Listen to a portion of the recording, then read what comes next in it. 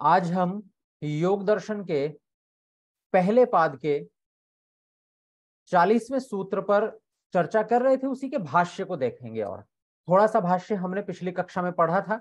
आज हम उसका अगला जो भाग है, उसे पढ़ेंगे। चालीसवें सूत्र से पहले, जैसा कि मैंने आपको पहले भी बताया था, चर्चा चल रही है, अपने चित्त को कैसे रोका जाए। उसमें बहुत सारे उपाय, महर्षि पतंजलि जी ने बताए हैं। और सब उपायों को बताकर अंत में कह दिया, यथाभिमत ध्यान जैसी आपकी सुविधा हो, जिसमें आपको सरलता हो, जो आपको बहुत अधिक अपील करती हो, आप उस तरीके को, उस उपाय को अपना करके चित्त को रोक सकते हैं, एकाग्र कर सकते हैं। फिर उससे होगा क्या? तो कहा, परमाणु, परम महत्व अंतो अस्य वशीकार। दो काम होंगे, एक तो सूक्ष्म से सूक्ष्म जो विषय है, यानी ऐसा विषय है जिसको समझने में बहुत अधिक कठिनता आती है, कारण क्योंकि वो सूक्ष्म है, बहुत जल्दी समझ में नहीं आ रहा है। दूसरा, परम महत्व, अर्थात जो बहुत अधिक बड़ा विषय है, स्थूल विषय है, नहीं समझ में आ रहा। कई बार छोटी बात समझ में नहीं आती, बड़ी बात, मोटी बात भी समझ में नहीं आती। आप किसी को क्वांटम फिजिक्स समझाएँ, नहीं समझ में आएगी। बहुत छोटी बात है। और आप किसी को बहुत मोटी सी बात बताएँ कि भाई, समय पर जाने से विद्या आती है। अब लोगों को यही समझ में नहीं आएगा। समय पर विद्यालय जाने से विद्या आती है। देर से जाएँगे तो क्या विद्या आने से मना कर देगी? वो अपने तर्क लगाने लगेंगे। पर बात बड़ी मोटी सी है। समय पर जाएँगे, यानी आप समय के टाइम के पंक्चुअल आदमी है। आप अगर इसमें व्यवस्थित हैं तो फिर विद्या में भी व्यवस्थित होंगे। बहुत मोटी सी बात है। लेकिन कई बार वो भी समझ में नहीं आती। इसी तरह से जो प्रकृति के तत्व हैं, बहुत सूक्ष्म है, उस पर भी ध्यान एकाग्र नहीं होता। जो बहुत स्थूल है, उन पर भी ध्यान एकाग्र नहीं होता।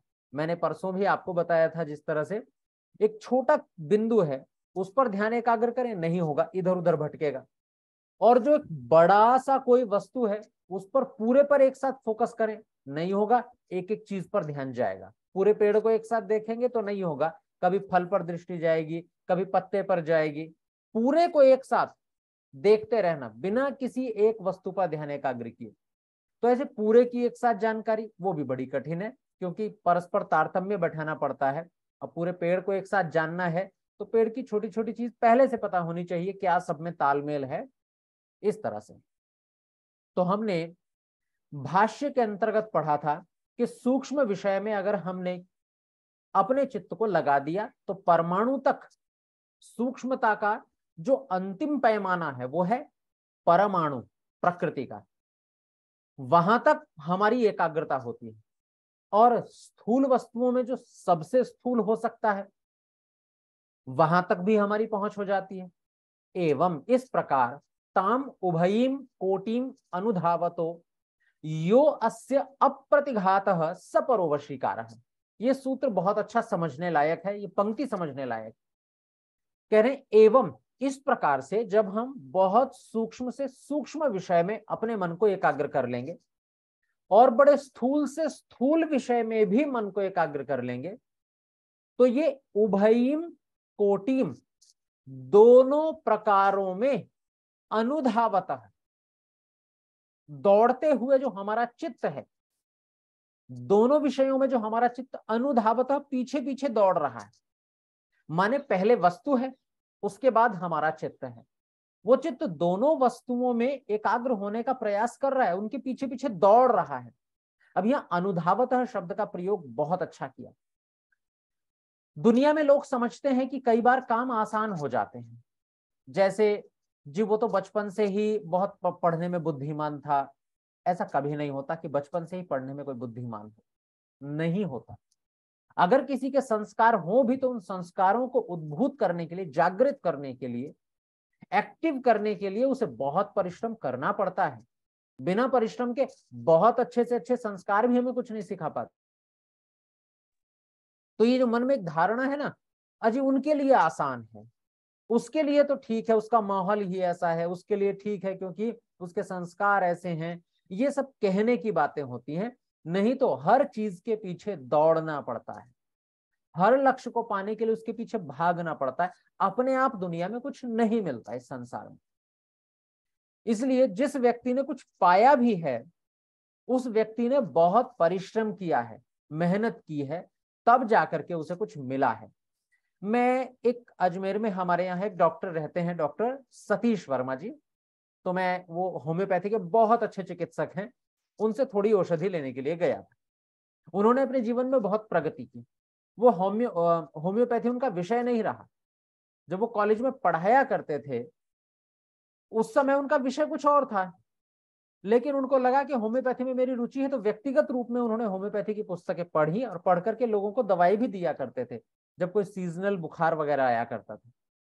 उन्होंने बीच में ही रिटायरमेंट के पाँच साल पहले ही उन्होंने अपनी नौकरी, जो सेवा थी, वो छोड़ दी। लोगों ने समझाया, क्यों छोड़ रहे हो सेवा? भी पाँच साल बचे हैं रिटायरमेंट में, आपका जीवन सुरक्षित हो जाएगा। बोले, नहीं, मेरा विषय मस्तिष्क कहीं और लगा हुआ है।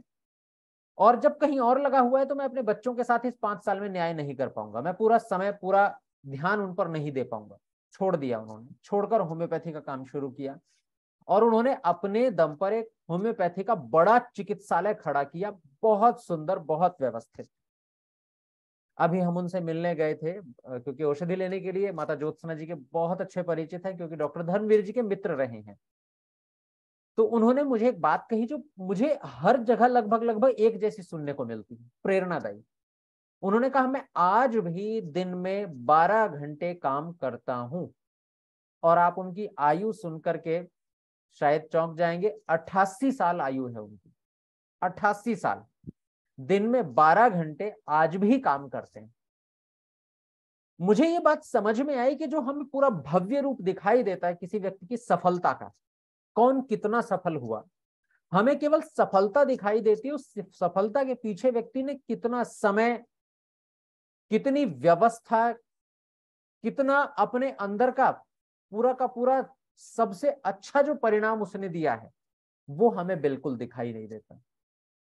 जब भी कोई व्यक्ति कुछ उन्नति करता है तो उस उन्नति के पीछे अनुधावत दौड़ना पड़ता है।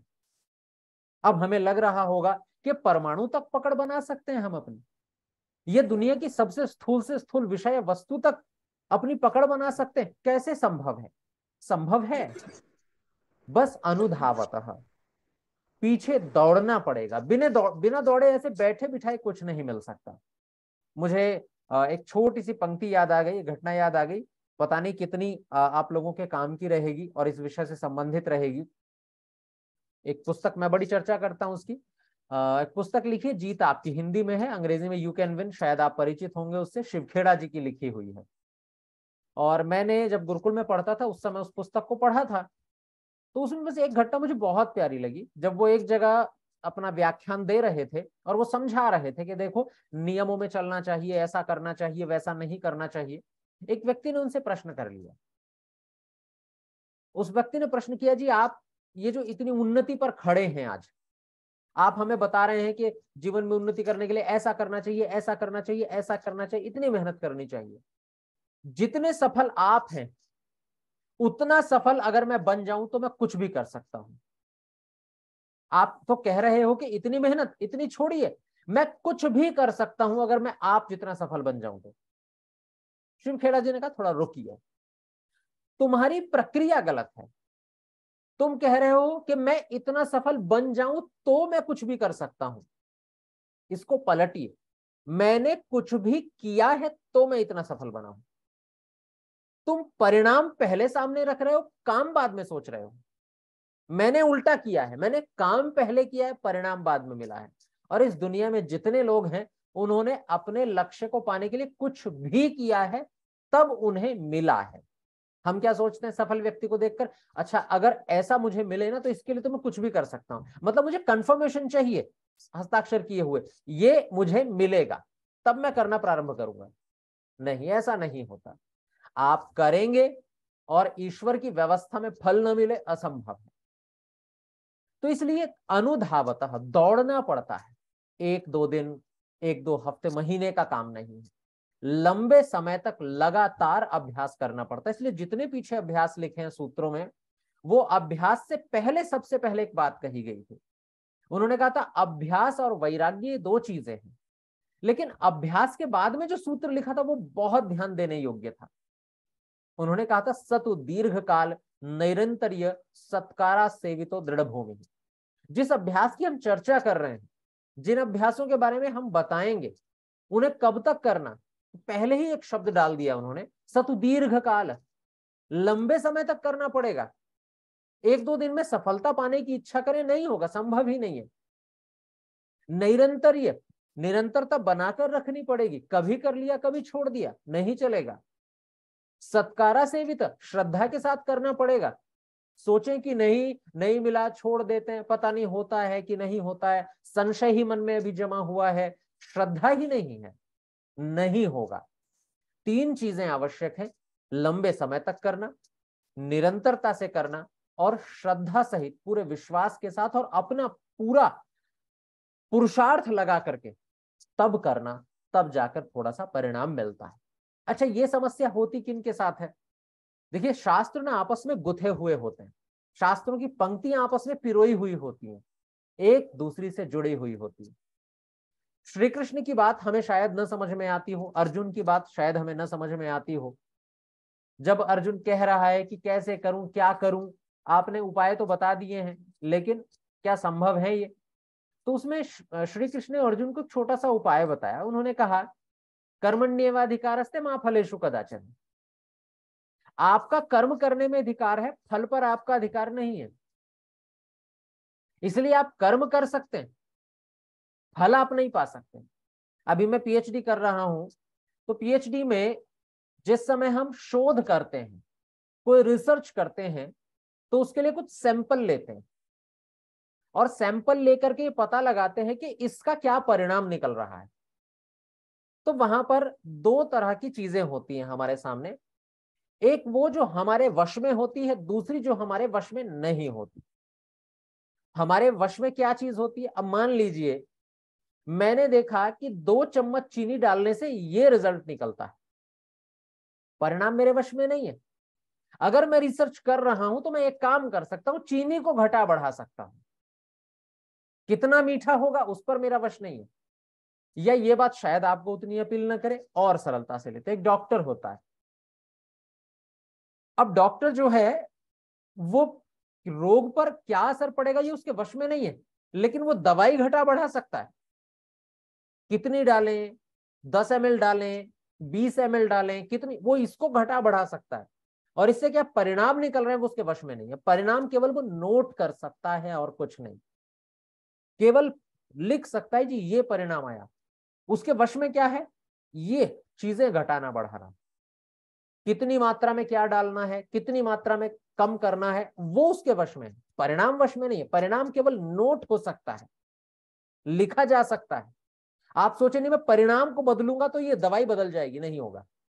आप इसको उल्टा भी तो अगर दो चीज़ें जुड़े हुए हैं, वस्तु और वस्तु से निकलने वाला परिणाम तो अगर मैंने दवाई घटाई या बढ़ाई तो इधर परिणाम बदल गए। तो क्या उल्टा भी हो सकता है कि मैं परिणाम बदल दू तो दवाई घट बढ़ जाए?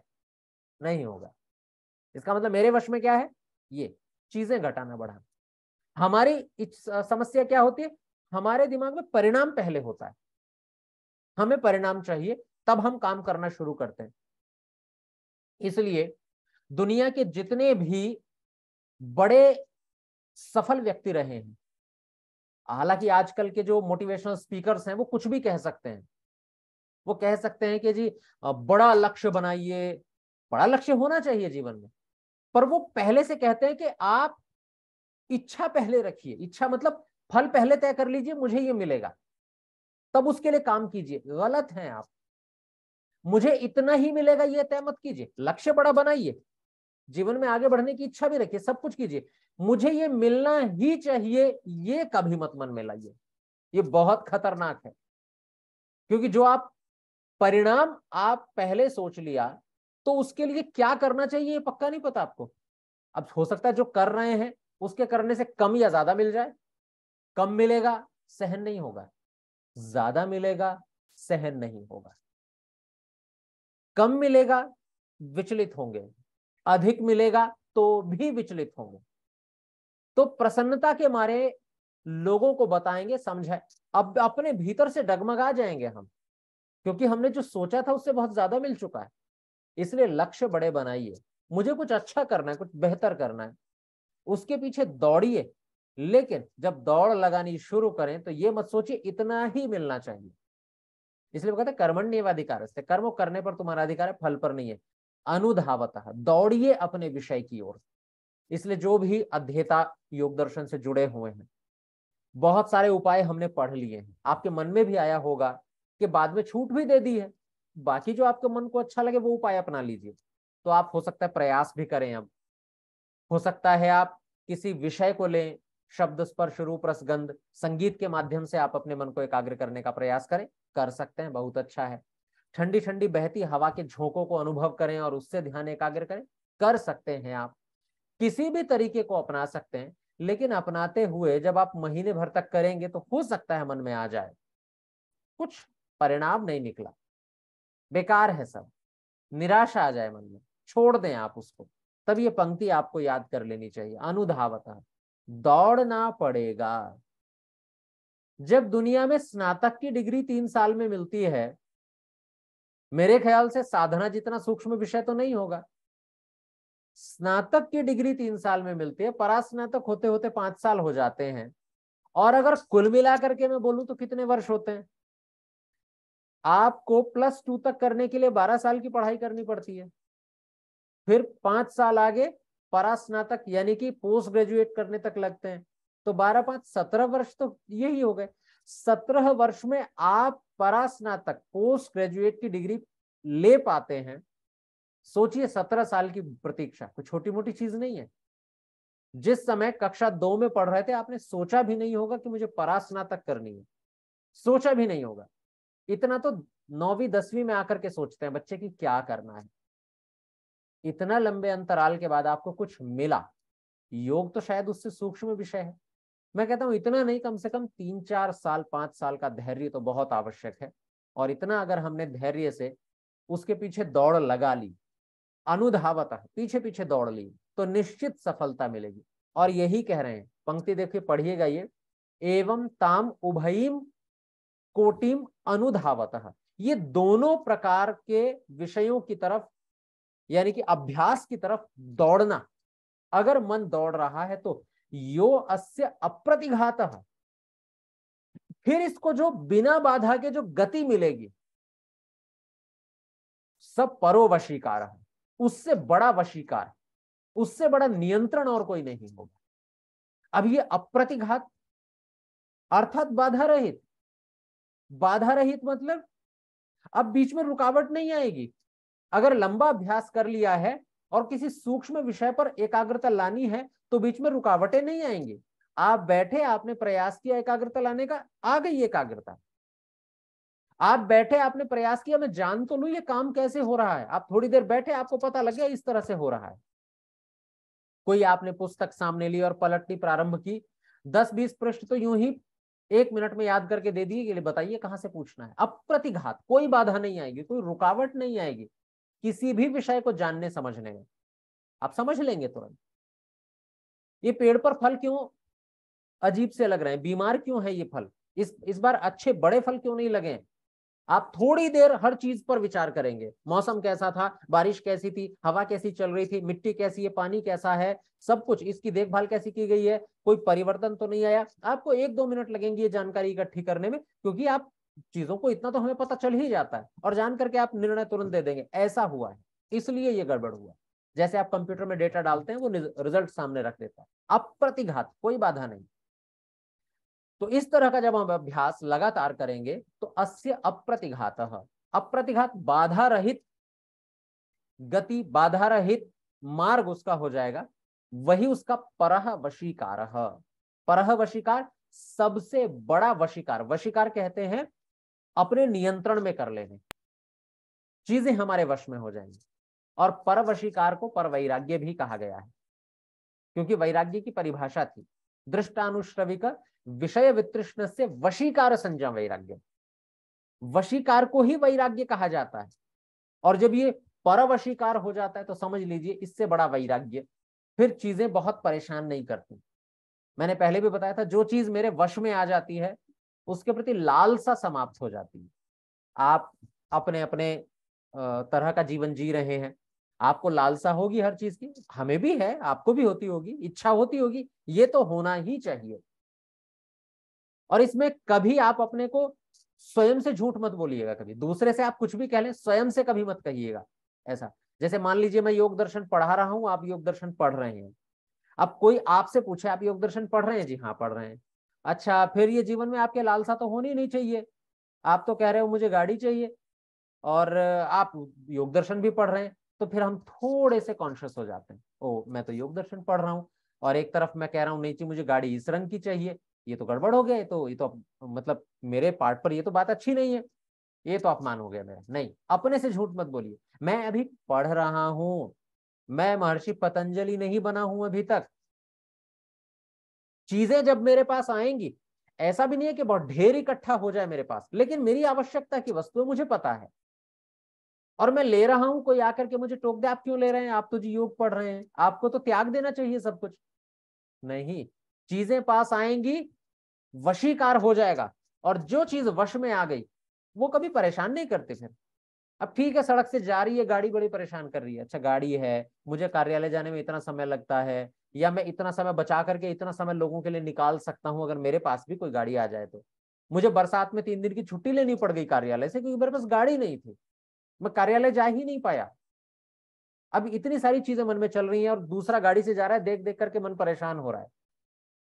यानी कि वशीकार वैराग्य नहीं हुआ, राग है अभी वस्तुओं से। लेकिन जैसे ही आपने ले ली, गाड़ी घर खड़ी है, हो सकता है आपका बरसात में भी मन कर जाए, नहीं आज तो भीगते हुए जाने का मन है। लोग कहेंगे गाड़ी घर खड़ी अरे नहीं वो, वो इतनी रुचि नहीं है मेरी उसके प्रति क्योंकि आ गई है वश में। जो चीज़ पास में होती है उसके प्रति लगाव नहीं होता। आप अनुभव करके देखिए अपने जीवन में। जब तक वो चीज़ें नहीं मिली थी तब तक क्या स्थिति थी? और जब मिल गई अब क्या स्थिति है? दोनों में अंतर है। मैं ये भी नहीं कह रहा हूँ कि अगर वैराग्य करना है तो चीज़ें इकट्ठी करनी ही ज़रूरी है लेकिन एक आम आदमी के लिए सामान्य मनुष्य के लिए दो तीन तरह दो तीन तरह के लोग संसार में होते हैं। एक तो वो, जो पहले ही समझ जाते हैं कि वस्तु मिल गई तो कितना लाभ पहुंचाएगी, पहले ही वैराग्य हो जाता है। दूसरे वो, जिन्हें वैराग्य होता है, वस्तु मिलने के बाद, मिल गई, अब पता चल गया, वैराग्य हो गया। लेकिन कुछ ऐसे भी होते हैं, जिन्हें कितना भी मिल जाए, वैराग्य होता ही नहीं है, जिनका पागलपन और बढ़ता चला जाता है और वो विक्षिप्त अवस्था की स्थिति तक पहुँच जाते हैं। पागलपन हो जाता है। लेकिन जो मध्यम स्थिति के लोग होते हैं, मध्यम स्थिति के लोगों को जो अगर वैराग्य तक पहुँचना है तो उन्हें एक उपाय अपना सकते हैं कि अपने को सिद्ध कीजिए, मैं ये पा सकता हूँ। मैंने पहले भी आप लोगों से संभवतः चर्चा की हुई इस विषय में कि जिस व्यक्ति के पास कुछ नहीं है, वो कहे मेरे, मुझे वैराग्य है, मैं चाहता ही नहीं हूँ, बात समझ में नहीं आती। है, और मैं छोड़ रहा हूँ, ये त्याग है। अब जिसके पास कुछ नहीं है, वो कहे, जी, मैं तो त्यागी व्यक्ति हूँ। काहे के त्यागी? है ही नहीं तो त्याग कैसा? है तो त्याग करके दिखाइए, या फिर ले सकते हैं, नहीं ले रहे हमें पता है, ये व्यक्ति इतना बुद्धिमान है, ये दिन में बारह तेरह घंटे काम करता है और ये इस वस्तु को पा सकता है। ये ले सकता है मेरे जैसी गाड़ी, चाहे तो अभी ले सकता है, लेकिन फिर भी साइकिल से जाता है। अब उसकी बात समझ में आएगी। हाँ तुम वास्तव में त्यागी हो। आप वास्तव में स्वास्थ्य के प्रति जागरूक हो। आप गाड़ी सच में इसलिए नहीं ले रहे हो ताकि प्रदूषण बचे और मेरे स्वास्थ्य में भी आ, कोई समस्या ना आए। इसलिए आप साइकिल से जाते हो। लेकिन अगर कोई सामान्य सा व्यक्ति साइकिल से जाए और वो कहे अरे मैं गाड़ी खरीदता ही नहीं चाहूँ तो खरीद। लू नहीं उसकी बात समझ में नहीं आएगी। समझने लायक ही नहीं है। तो इसलिए ये जो वशीकार है, ये वैराग्य का सबसे बड़ा साधन है। तो जब हम चीज़ों को जान लेते हैं, इसको भी जान लिया, सूक्ष्म से सूक्ष्म को भी जान लिया, वहाँ तक भी हमारी पहुँच हो गई, और स्थूल से स्थूल को भी जान लिया, पहुँच हो गई। अब सोचिए किस विषय में हमें राग रह जाएगा? नहीं रहेगा।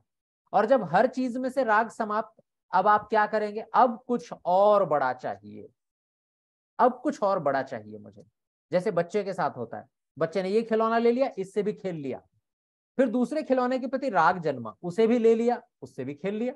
अब एक नए खिलौने के प्रति राग जन्मा, जितने खिलौने हो सकते हैं, सबसे खेल लिया। अब मन में क्या आएगा? नहीं पिताजी, खिलौने हो गए बहुत, अब सीधे फ़ोन चाहिए, अब नहीं चाहिए। ये सब बेकार हो चुके हैं। तो वो कहेंगे भी बच्चे ही तो हो तुम। बच्चे हैं, लेकिन सारे खिलौने भोग लिए। अब बड़ा चाहिए कुछ, अब ओरिजिनल चाहिए। अब आर्टिफिशियल से बात नहीं बनती। हालाँकि उम्र अभी भी छोटी है, पर आपने देखा होगा, अगर बच्चे छोटे छोटे खिलौनों को उपयोग कर लें, सबको कर लें, अब वो छोटे खिलौने पर हाथ ही नहीं रखते। अब चीज़ें ओरिजिनल चाहिए उन्हें। इसलिए जब हम सामान्य मनुष्य जो होते हैं और वो इतनी योग्यता अर्जित कर लेते हैं कि हम चाहे जो ले सकें, चाहे जो उपभोग कर सकते हैं हम, तब उन्हें ओरिजिनल चाहिए। अब दौड़ लगेगी ईश्वर की तरफ़। अब ऐसा सुख चाहिए जो समाप्ति नहीं होता। ये वस्तुओं को तो जान के देख लिया। इनमें आधा अधूरा सुख है। थोड़ा है, थोड़ा दुख है। थोड़ी देर के लिए सुख देती हैं, फिर वही दुख। इसलिए वशीकार बहुत आवश्यक। और वशीकार कब होगा? जब हर वस्तु तक हमारी पहुँच होगी। राजा को कभी अपने घर में सोने चांदी के बर्तनों से राग नहीं होता। लेकिन एक सामान्य से व्यक्ति को सड़क पर पीतल का भी कोई छोटा सा अंगूठी मिल जाए, वो उसको भी घर ला करके साफ़ करके दिखाता है दुकान पे जाके भैया देखना जरा, सोने की तो नहीं है। उस व्यक्ति की ये स्थिति होती। है लेकिन जिसके घर में है सोने चांदी के पात्र, वो अपने घर के सोने चांदी के पात्रों तक को नहीं देखता है। हैं हैं, रखे रखे। हो सकता है कभी रखे ही हो, कभी उपयोग ना करते हो। हो सकता है गहने रखे या कभी उपयोग भी ना करते हो। जो चीज़ है, पा चुके हैं या पा सकते हैं उसके प्रति अपने आप लगाव समाप्त हो जाता है। मैं इसलिए कह रहा हूँ क्योंकि मैं जिस परिवेश से मैंने देखा है, जिन चीज़ों को मैंने जाना है, मैंने बहुत गहराई से अनुभव किया है, जो नहीं है उसके प्रति लगाव, जो मिलती गई उसके प्रति लगाव समाप्त। और हम कहते हैं कि देखो जो धनवान लोग होते हैं, वो कितने अच्छे होते हैं। वो ज़्यादा चोरी नहीं करते। अरे भाई, चोरी इसलिए नहीं करते, उनके पास है। गरीब इसलिए चोरी करता है, उसके पास नहीं है।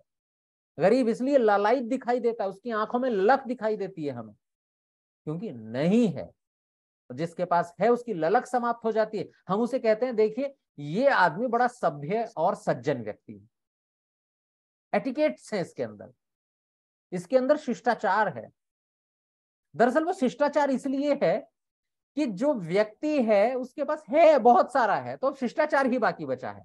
अब जिसके पास नहीं है, वो काहे का शिष्टाचार करेगा। भूखा है तीन दिन से, आप सोचे वो खाने की टेबल पर बैठ करके शिष्टाचार करे? नहीं होगा उससे शिष्टाचार। वो बिना भोजन मंत्र बोले खाएगा। वो खाएगा जल्दी जल्दी खाएगा। खाना चाहिए दो तीन रोटी शिष्टाचार कहता है, वो सात आठ खाएगा।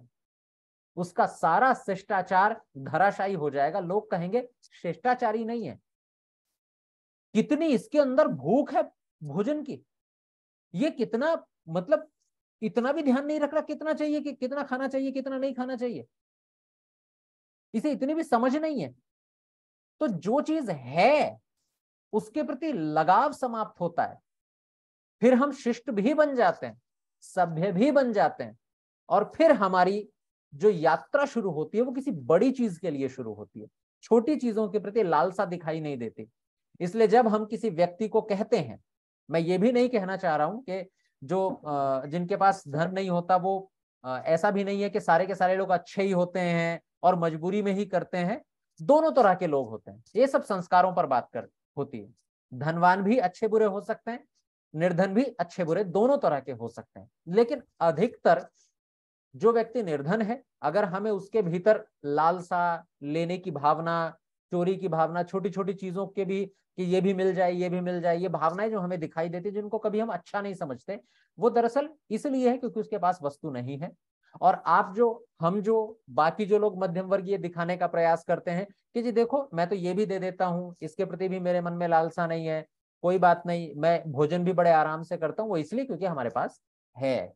इसलिए है, ये होना ज़रूरी है। इसलिए आप चीज़ इतने योग्य बनिए कि चीज़ों को पा सकें। चीज़ों को पाने के बाद वैराग्य आए, वो भी ठीक है। और इतने योग्य बन जाए कि पा सकते हैं लेकिन नहीं ले रहे हैं हम, क्योंकि हमें पहले ही पता चल चुका है कुछ नहीं होने वाला। योग्य बनने, पर योग्यता होनी ज़रूरी है। वशीकार होना ज़रूरी है। इसलिए कह रहे हैं, अप्रतिघात, अगर मेरी चीज़ों तक पहुँच है तो वशीकार होगा। वो भी अप्रतिघात पहुँच, कोई रोक नहीं रहा है। जैसे राजा को खजाने तक जाने से कोई नहीं रोकता। राजा को वायुयान में बैठने से कोई नहीं रोकता। गरीब व्यक्ति को रोकते हैं। उसका वशीकार, उसका अप्रतिघात वहाँ तक पहुँच ही नहीं है तो वशीकार भी नहीं है। वशीकार नहीं है तो लालायित रहता है। इतना लालायित रहता है कि सड़क से अगर एयरपोर्ट दिखाई दे जाए तो वो एक टक, मैंने देखा है कुछ लोगों को। जब मैं ट्रेन से यात्रा करता हूँ, अजमेर से दिल्ली जाता हूँ, दिल्ली से अजमेर आता हूँ तो बीच में इंदिरा गांधी इंटरनेशनल एयरपोर्ट पड़ता है गुड़गांव में।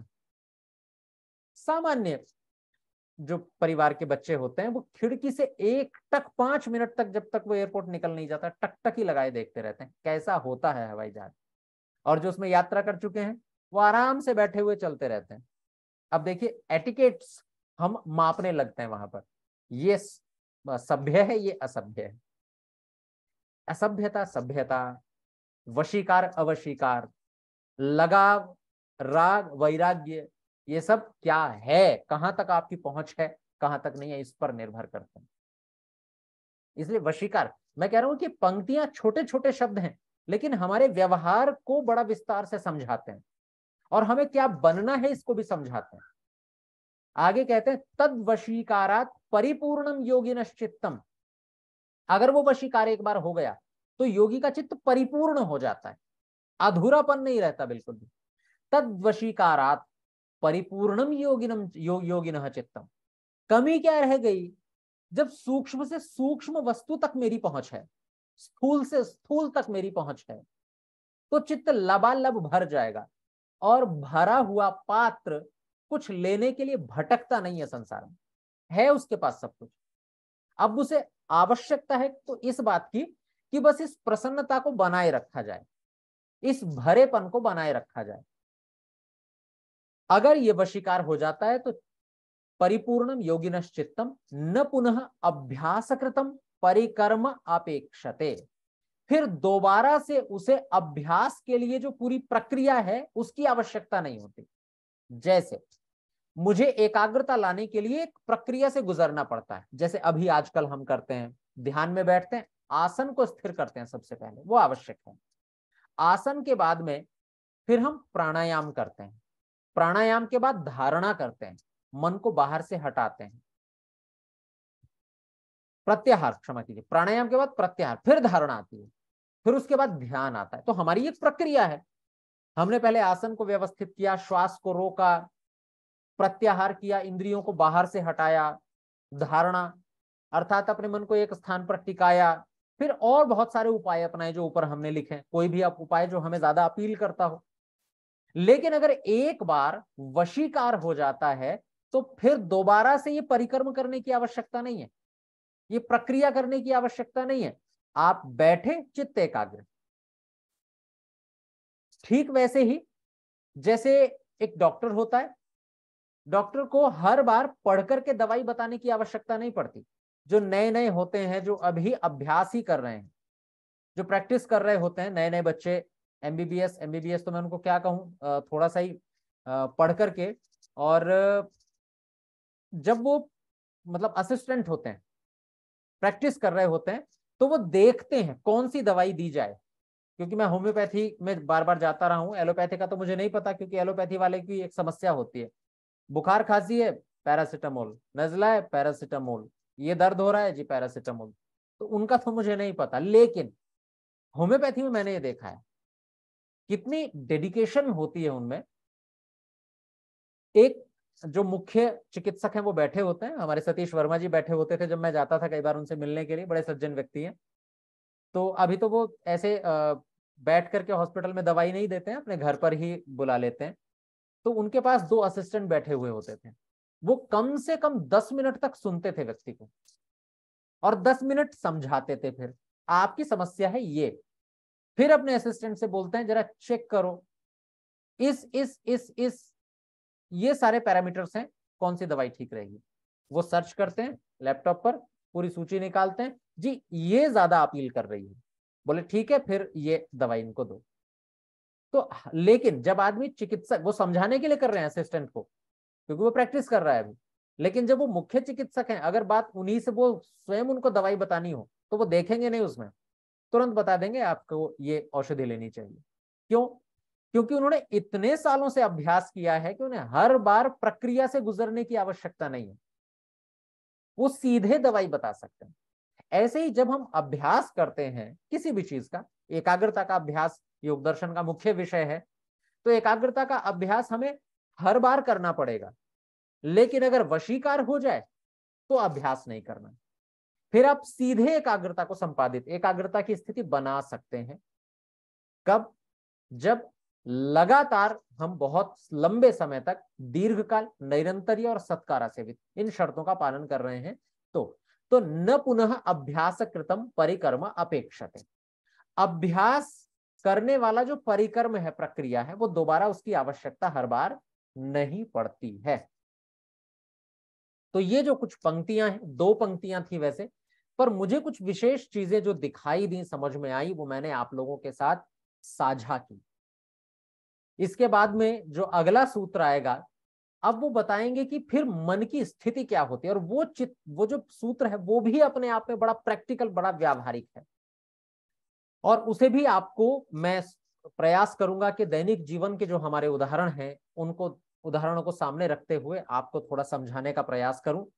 आ, मुझे नहीं पता मैं कितना इस विषय को समझा पाया हूँ लेकिन जितना मैं कर सकता था मैंने अपनी तरफ़ से पूरा प्रयास किया फिर भी आपके कोई प्रश्न हो तो आप प्रश्न अवश्य रखिएगा।